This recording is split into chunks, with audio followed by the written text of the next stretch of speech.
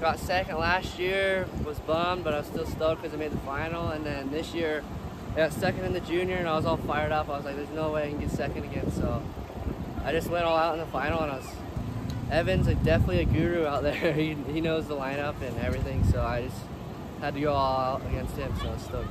It feels good. It feels really good. Confidence is definitely up now, and I'm stoked. Ready. Yeah.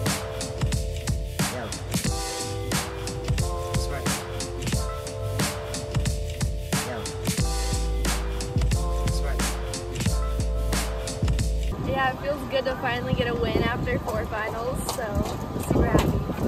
Uh, yeah, this one I was just trying to really focus and not like melt down in the final, and